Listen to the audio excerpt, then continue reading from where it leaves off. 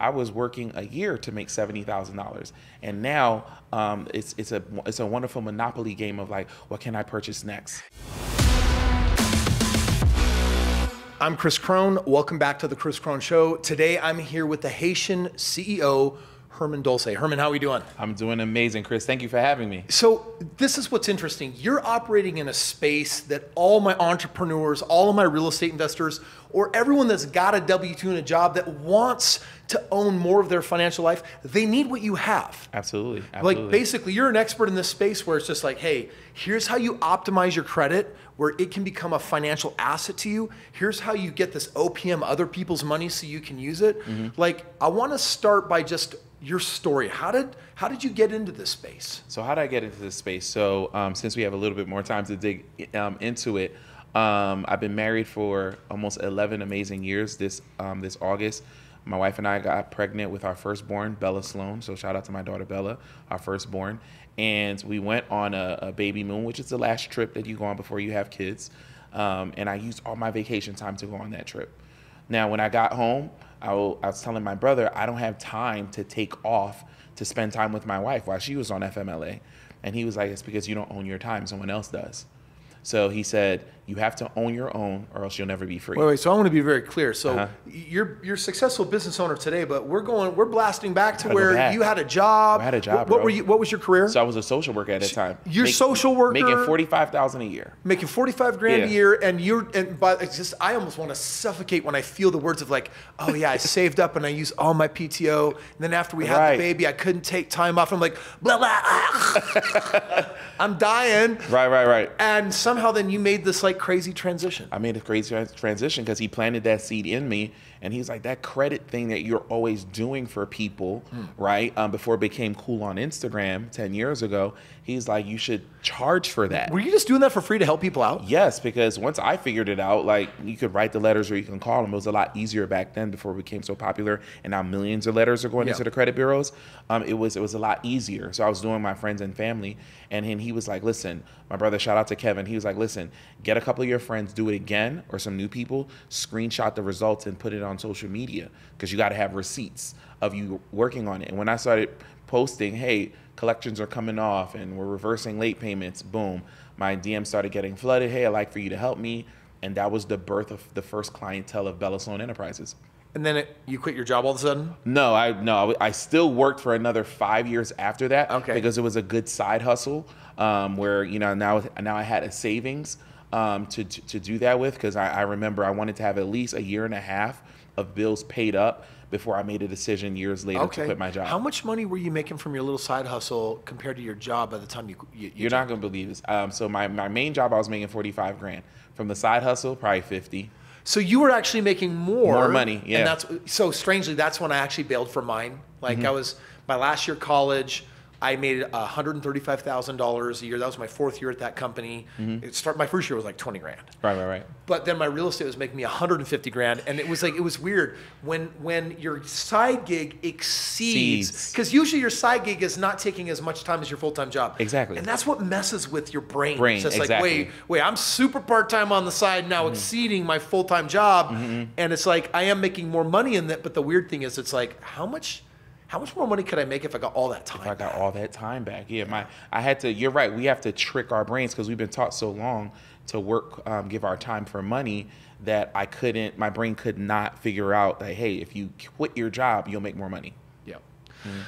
So, um, I remember the first time I, I had I was learning about the whole credit repair game because mm-hmm. I, I, don't I didn't think my credit was bad, but I was buying so much real estate and I had inquiries left and right, and I just discovered how I could get ten percent off in any store if I signed up for all the credit cards. Right, right, I right. did all that in this six month period of time, and my credit score literally like tanked mm-hmm. like ninety points. Right. And um, and someone explained to me and they said, hey, so here's the reality: if you send letters to these companies to dispute what they're doing, they don't actually have a department Mm-hmm. And it, and if they don't have a department to respond, it'll automatically go to the credit bureau and update it. Right. And I was like, come on, that sounds kind of weird. And they said, no, actually, it's even cooler. We could do this thing called a rapid rescore. Yeah. So like they filed all this stuff, and then they did this rescore, and like my credit jumped like 70 points, and I was like, no freaking way. Right. And um, it was a good feeling because back then I was using my credit to make me tons of money in real estate. Mhm, Exactly. Learning how to leverage credit as early as possible.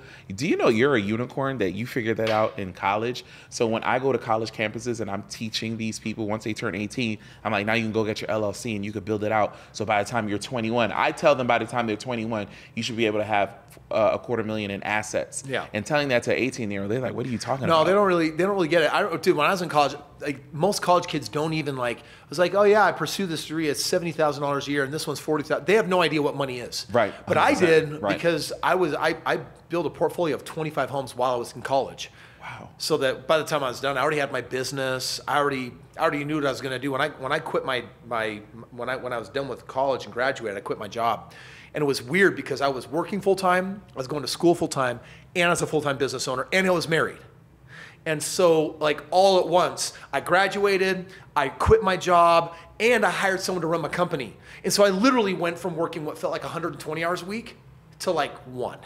And it was like the most amazing breakthrough of my life. In college, like Yeah. 21, 22. I well, so I served a two-year Christian mission for my church. Mm-hmm, mm-hmm. So I started college at like 21. Okay. So I was I was like 25 when I graduated. You graduate. Wow. You're def- you definitely are a unicorn, bro. Um, who was your mentor that taught you this? Somebody had to teach you this game. Um, so it's kind of weird. I had I had a number of mentors, but they're they're they were financial experts in the real estate game. Mm. All three of them had each made over eight figures in real estate, and they were the ones that were kind of teaching me like how to manipulate my credit, what homes I should be buying, how to buy them at a discount, all that stuff. Wow, wow, wow. And you've built an amazing community. Wow. Hmm. That's amazing. That's amazing. And I and that's what I did. I used that on the credit and business funding side because they my mentees have never heard this information before. And now that I've deposited that in them, they they've connected it to, to whatever they need to in their lives and they've 10x. Well, let's talk about Bella Sloan Enterprises. Yeah. Like you've been all on your own now for about seven years, Seven years, yep. and you named that company after your daughter. After my daughter, right? And uh, in the last seven years, you've now created seven millionaires and helped 100 people walk from their jobs. Yes, yes. Because they took the business credit, by the way, not personal credit, folks. Not personal, right. You took the business credit and then they mm-hmm. used it to make money. Right, that's my badge of honor. When when I go to meet my maker and and Christ says to me, "What did you do with the time that I gave you?" Um, I know I not only save souls, but I've helped people um, become financially free um, because He gave me that information and it made me financially free. I was able to retire my mom. Yeah. Um, my dad had a major stroke, so he's total care. So I'm talking about hospital bed in the house, Wow, right? wow. So to be able to have 24 hour care for my father because God gave me a piece of information, I executed on it. Yeah. Like that's that's the dream. I actually love that you're giving God credit for that. For the last Mm-hmm. 14 years, I've been taking care of my parents. They retired through bankruptcy. Like they lost everything. And I was in a financial position to be able to basically take my parents in and take Mm-hmm. care of them. And it is, it's strange to me. Like I've done some cool things with money, but nothing I've done is cooler than just taking care of Mm-hmm, Yeah, my yeah, yeah. parents. It's the it's you the know? Mm. full circle of life. Um, they took care of me very well. They put me in Christian school. Um, they they introduced me to God. Um, they didn't introduce me to business, but they but I was able to use biblical principles in my business, Mm. so it helped me do good business with people. And you know, in this game, my reputation is everything. Yep. And now to be able to take care of my parents, and now I retired my mom, and my mom takes care of my children. She wakes them up, take them to school. Having mom there makes our lives so much easier. So let's talk a little bit about OPM, right? Mm-hmm. Right. There's a lot of people that don't understand. They, they're like, oh, yeah, that means other people's money. I'm like, Mm-hmm. nah, I don't really think that you understand what it means. Let's put it in the context of credit. Right. Because, first of all, there's a big difference between OPM on personal credit and OPM on business Business credit. credit, mhm. Like if I've got, you know, $50,000 in personal lines of credit, I have to play by a rule so I don't jack up my credit score. Mm-hmm. Correct. Like for example, one of those rules is I, I shouldn't be using my credit cards beyond a certain amount of what's available. Exactly, Generally, what's that amount? thirty percent. So if I use, if I have if I'm carrying debts on all of my credit on average above thirty percent, Right. it's actually going to start dinging my credit. You're right. The moment it hits 31%, you'll see a significant drop in your credit score because to the bank, it looks like you don't know how to manage money. Just because you have a $10,000 limit doesn't mean you should be using that whole 10000 at the time. But that's not exactly what's happening on the business side of the fence. No, it's totally different No, because on the business side of the fence, you could literally max out everything you got, Mm-hmm. And it's not going to personally report on your credit. no, and that's the beauty of it. And that's why I've been so passionate about this topic because a lot of people never heard of that. So you're saying if I get the same $20,000 card, the same $10,000 card, and I max it out for a real estate deal or whatever deal I'm doing, it's not going to ding me? No, it's not going to ding you. But what if someone doesn't have a business yet and they're like, well, I want a business. Mm-hmm. Do they just have to start with personal lines of credit or what does it take for them to actually qualify So- for business? So if their personal credit profile is in a good position, meaning they have a minimum 680, I prefer it to be a 700. They have a good profile, which means, hey, I've had a couple credit cards. Um, And I've been my, keeping them life. clean, right? And we're paying keeping them them, down, clean, pay 'em off. paying them down, paying them off. At least two years old. The banks like to see you've done with your personal credit. Now, all you need to go do is go get an LLC. Go get that business. Go go register. Go to your. Do they care how much money the business has made? No, it doesn't. They, they just care that literally it was established. They care that it's established, and they're. And Do they care how old that business is? So the older the business, the more money they're going to give you. But the business could be two minutes old, and because you're going to personally guarantee it, they're going to look at your personal credit. They're, the banks are like this because I always tell people, think how the banks do. They're going to be like, well, Herman, you were responsible with your personal credit. Yeah. We're going to take a bet that you're going to be responsible with your business credit. So instead of give you ten thousand dollars that we would have gave you if you asked for personal money, we're going to give you twenty thousand dollars on the business side. And now, when your business um, creates revenue from the money, the debt that they gave you, and you're making these deposits, the bank is going to call you. Hey, you want to raise that up to 40, 50? Because clearly you know what you're doing. So I actually know people that will go and buy older LLCs. 100%. Yes. And It's just like, Yeah, hey, yeah. this was around, established five years ago. Yeah, yeah. No one's doing anything with it. Yeah, and yep. you take it over, and that's because they're going to get more money established. Yep. Now you get credit cards and lines of credit because banks like to give lines of credit to businesses that are over two years old. How's a line of credit different than a credit card? So um, everybody knows how the credit card work. You swipe. It's hard to hard to liquidate it, right? But a line of credit, I love lines of credit because you could just transfer the money right into your business checking account. Oh, right? serious? Right, and you can um, and it's and it's interest only. So like me, I got a hundred thousand dollar line of credit from a bank, right? And I I moved it all into my account and I wired it to purchase 15% of a business, right? That money was making me $20,000 a month now. But you're like, Herman, well, how much that $100,000 cost you? Well, at the time before the interest rates went up, it was only costing me $700 a month because it wasn't a loan. You only have to pay the interest on that money. So you're actually talking about the velocity of money, Yeah. Mm-hmm. which most people actually haven't even heard that term. Like the best way I can explain the velocity of money is that when your dollar is sitting in multiple places at the same time making you money, and it's Mm-hmm. like, okay, give me an example. I'm like, well, I, I saved up $3,300 as a tiny down payment on my first tiny house. Mm-hmm, And I bought this house with that 3.5% down payment. And because I bought the house below market, after one year of owning the house, I went and got a home equity line of credit. And that home equity line of credit was enough to be a down payment on a second house. Right. But really, it was like a part of that $3,300 on the first house was now living and breathing in the second house. In the second house. And then I used the equity in the second house to buy a third house. Right. And like I remember I got to this moment where I'm like, wait a second, I bought three houses on $3,300. My net worth is now over $200,000. dollars mm-hmm. I live for free because the basement and the first house Yeah. pays for everything. The other two are rented out, making me over a thousand a month. I'm like, wait a second, living for free, making a grand a month, and having a net worth over $200,000 a month, all on $3,300. Well, that's the velocity of money moving from one place to another, but still earning in the first place.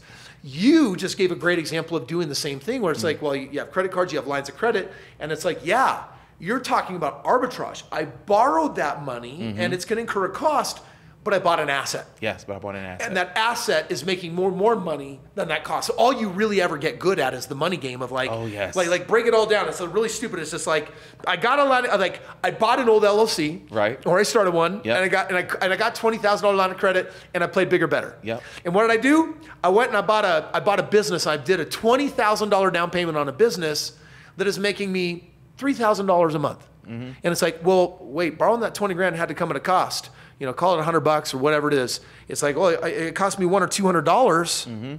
But I'm getting three thousand dollars from the business I bought. yeah. Well, then I took the business and I got a line of credit on this business, and I used it to buy another business. And like this line of credit was for like eighty thousand dollars, Mm-hmm. and I found a business that I bought for eighty thousand dollars, and it makes me seven grand a month. I'm like, oh shoot, how are you servicing that eighty thousand dollar cost? I mean, doesn't that cost you like like seven hundred bucks a month? And it's like it does cost me seven hundred dollars a month.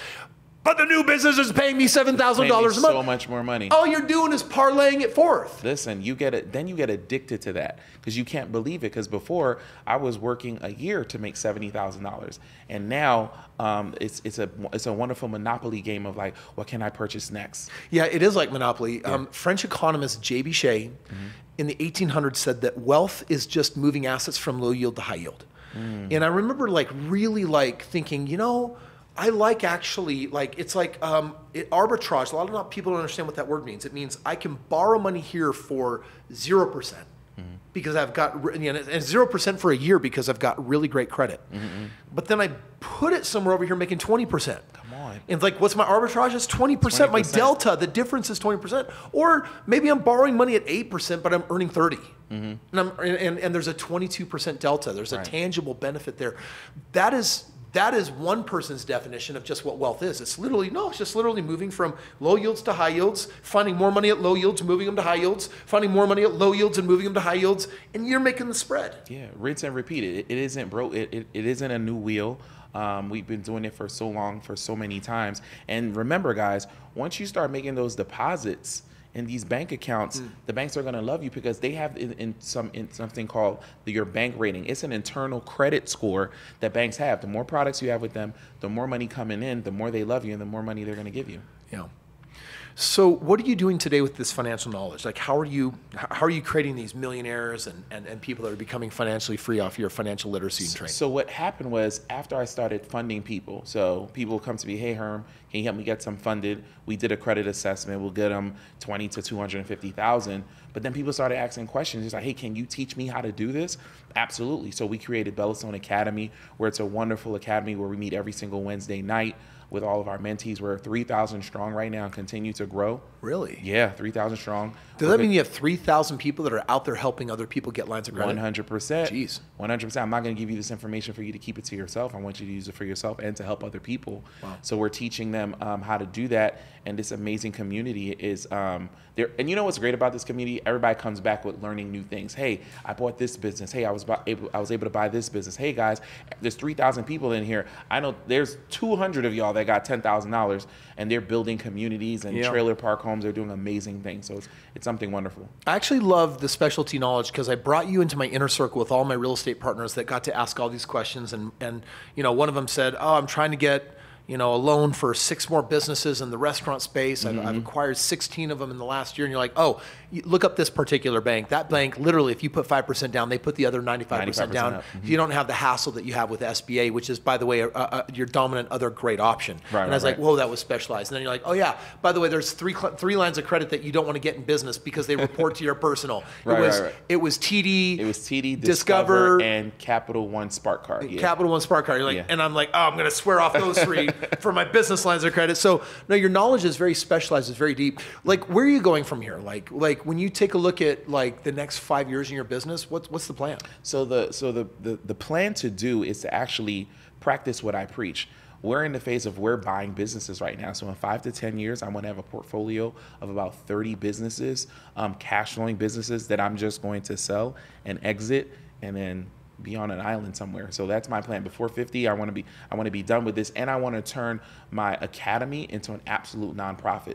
So it's free. Anybody can come, anybody can join, and that'll be my missionary work where I'll, I'll come on every Wednesday and I'll just teach for free. I love that. That's wow, you've got a you've got a vi- beautiful vision plan. If people want to learn more about your academy or you, or they're like, shoot, like this is obviously going to be different than going online and applying for a credit card. You're actually establishing business credit. You're establishing business lines of credit, Mm-hmm. lines of credit, not just credit cards. H- how do people actually learn about you? So the best way they can learn about me is on my Instagram page, um, which is Haitian H A I T I A N underscore CEO on Instagram. I post free information every day, and they could also check out my business page on YouTube, Bella Sloan S L O N Enterprises, where I have more long form content, long form content where I actually teach um, for an hour or two about the principles of raising capital for yourself and repairing your credit so that you can get this money. you know, I think there's a lot of people that are in a job like you and I originally were. They're doing their W two thing. They've got you know security. They're in their comfort zone. They get a paycheck every other week, and they look sometimes at us entrepreneurs and like, man. What did it take for you guys to jump? And I'm like, well, there's there's a couple of things I think that most people have that just don't get talked about. Mm-hmm. And the first one is you want to establish really good credit, mm-hmm. and then the second thing that you want to do is you want to get some OPM, Yeah. some other people's money. Because when you start messing around and testing like you did your business and like I did my, my business and you build confidence and like hey I have a system that's working. I have something that's making money if I had more money I could scale it. Right, if I had more money I could jump ship from my job and I could actually do that thing.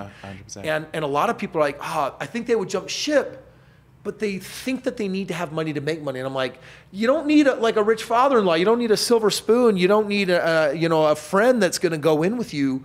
Just get your credit cleaned up and optimized, Mm-hmm. and then become like take on some business partners called American Express. Express, I'm sta- I'm stealing that one from you, by the way. Right. You said it right. You're like Yeah, those yeah. Mm. are my business partners. I'm like, wait, wait, you're business partners with billionaires like Billionaires, yeah. Chase and Amex and At Wells Fargo, I love them and they love me. Yeah, yeah. Because I, I send them business. I, say- I, I tell them, hey guys, you can work with my business partners. They're they're open for business for you to go to them. And, and my relationship managers of those banks, they love me. Well, in the least, Mm. a person should, I believe, take care of their credit so Mm-hmm. that they can leverage it. 100%. If we're talking to someone who's like, oh, I already botched it, my credit's not where I need it to be, it's so easy to ignore and be like, someday it'll get better, maybe I'll ignore it, Mm-hmm. you know. But the reality is, they, they need to be proactive. Do you teach people how to improve their credit? Hundred percent. Um, even though I pivoted over to more of the funding space, um, I like to tell people I like to create my future client. So in order to create my future client, I got to teach you and tell you how to fix your credit on your own. So again, on my YouTube page, Bella Sloan Enterprises, how to reverse late payments on open accounts, how to remove collections, um, how to um, remove inquiries after you get funding. We teach it on those pages. So just a quick nugget I can give you. Remember, on the Fair Credit Reporting Act, which is a federal um, guidelines for what goes on your credit profile. Um, one good one is nothing is supposed to be on your credit report without your permission. So I actually teach people how to use AI to do that. Hey, ChatGPT, can you create me a letter using the Fair Credit Reporting Act telling Experian that they are not allowed to put such such on my credit report, print it out, and mail it to them? That's round one of doing it. 30 days later, they don't take it off. I want you to call them and get on the phone and be proactive about your credit because once you're educated and you know those laws, they will comply.